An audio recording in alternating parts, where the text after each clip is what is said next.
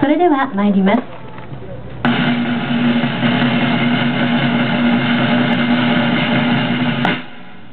佐久間レールパーク閉園セレモニーくす玉開花です。どうぞ。18年間ありがとうございました。平成23年春にお会いしまし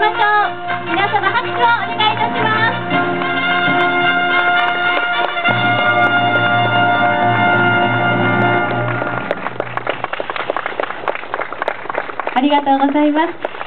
ここでもう一度スナップタイムを設けさせていただきます。くす玉開花参加の皆様は正面をお向き願います。